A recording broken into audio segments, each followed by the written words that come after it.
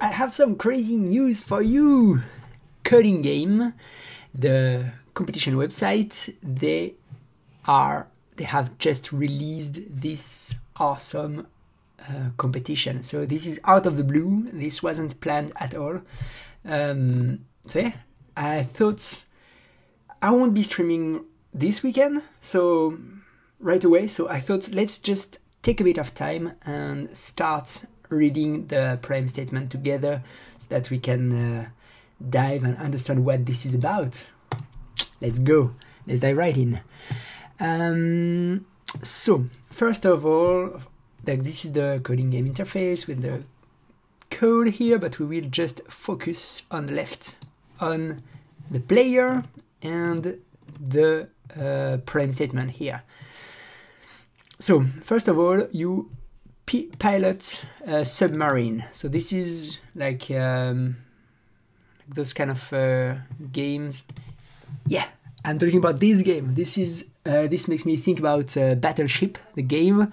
Um, you might have played that um, when you were younger.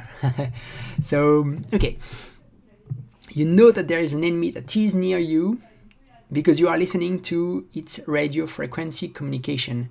You don't know exactly where it is, but you can hear its orders. You, you and your opponent have six hit points. When a player hit hit points reach zero, the player loses. Okay, so let's just you know start. Uh, can we play the game? So right now, what we can do is just click play the code, and this dummy code here should play, and we can see like uh, what's happening on the on the map. I think that's gonna be maybe a, even better. Okay, so here you have the submarine, and you can see that they move up. Okay, and here most likely uh, the red one went in the wall, so everything stopped. Okay, so interesting. Um, so at the beginning of the game, you receive the map with the position of each island. Island are obstacles, you cannot move over or fly through islands. Then you decide where you want to place your submarine by indicating a coordinate. Oh, that's really good. So I was thinking at first if this is random, people will try to guess where the submarine are uh, placed, but you can actually choose where you place the submarine. So for example, here, like instead of uh, 7 7, so we know this is 15 times 15. So what uh, if we put uh, 714 here let's see where we land. So here I just uh, clicked on play so that um, this code can be played. Okay. Okay so here as you can see we are hitting an island so no luck.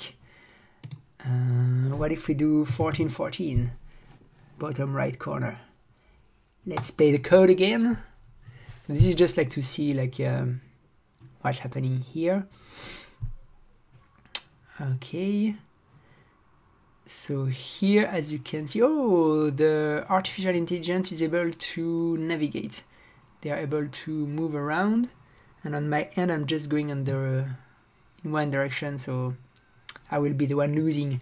Okay that's good to know um, okay, so that's good to know that you can place your submarine wherever you are want at the beginning of the game thanks to this. So I guess there will be already before starting the game there will be a challenge is to know where you want to place your submarine because you want to place it uh, in a smart way uh, depending on the islands. So that's going to be really interesting. Maybe you want it to be like in the middle of a place where there is no island nearby, or maybe you want to be close to islands. That's uh, that's a good question. Let's see. We'll see. Okay, so other than that, you can move. You can move your submarine one cell in any given direction and charge a power of your choice. When you move, you must re- respect the following rules cannot move through islands and you cannot move on a cell you already visited before. Oh, this is this makes me think about Tron now. Okay, so you might already know Tron.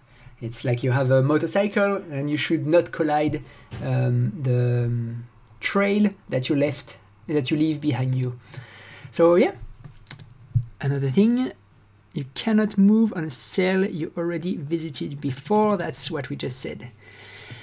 And you can decide what to charge. Different devices require different amount of charge to be ready. In this league, you can only charge the torpedo. Okay, that's good to know. Okay, so torpedo. This is the only thing that you can do right now. Okay, so the idea is that you need to make sure you don't go on top of your own path. And I think this this is a very good um, very good thing because then if you go for example in the middle of the map you will just deny this like half of the map. So this is going to be really complex. This is a bit like snake like tron like um, battleship. So there are going to be a lot of challenges in this.